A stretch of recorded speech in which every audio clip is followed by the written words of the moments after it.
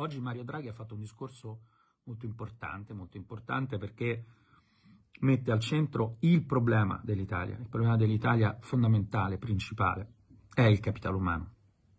Nelle economie sviluppate non ci sono scorciatoie. La crescita avviene attraverso l'investimento sul capitale umano, quindi sulle competenze, gli investimenti sui beni materiali e immateriali, la crescita della produttività, la crescita dei redditi, la crescita della domanda interna. Questo è il circolo virtuoso che funziona dappertutto e che non funziona in Italia.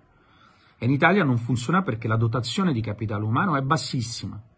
Noi abbiamo il 40% di ragazzi che esce dalla scuola eh, secondaria con competenze fragili, eh, il doppio della media europea.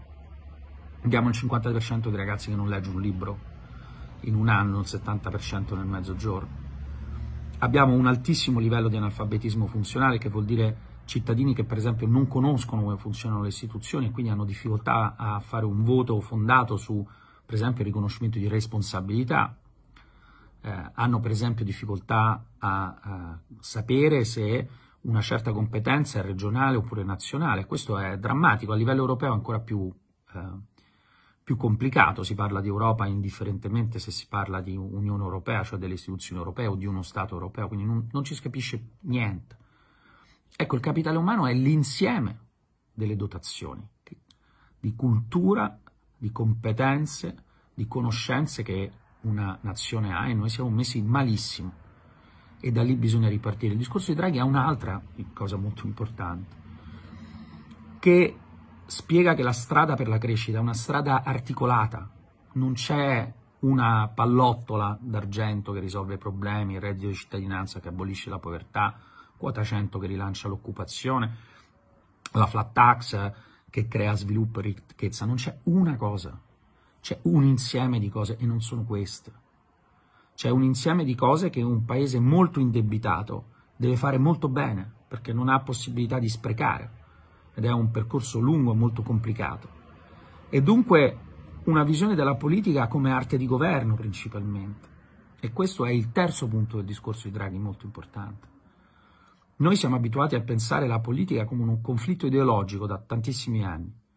E se vedete gli ultimi giorni quello che è successo è con l'alleanza PD 5 Stelle e con l'alleanza oggi siglata definitivamente, cosiddetta anti-inciucio tra Forza Italia Fratelli d'Italia e Lega, si, si sono costruiti due poli contro, eh, la cui ragione di esistenza è dire se vincono gli altri è una tragedia, perché sono fascisti, perché vogliono gli immigrati, per quello che vi pare.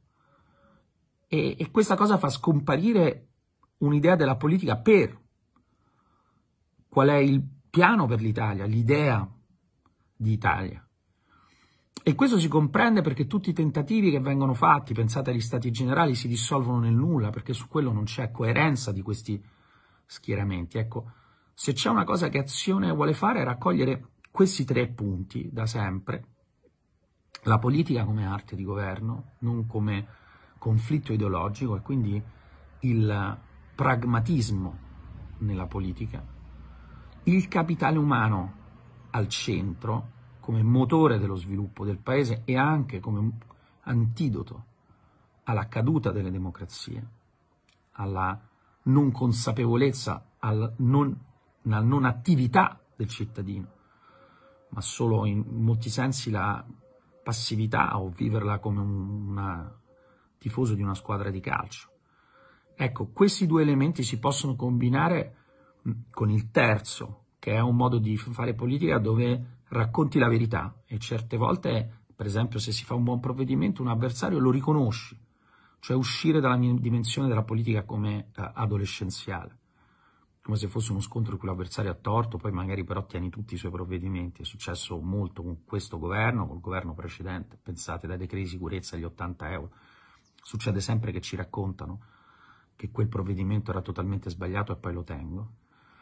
Ecco, tutto questo va a comporre un modo nuovo di fare politica che deve dare rappresentanza all'Italia seria, quella che lavora, produce, studia, fatica. A, se devo dargli un volto ai 9.000 laureati in medicina a cui non stiamo dando le borse di specializzazione e che finiranno per andare fuori dall'Italia.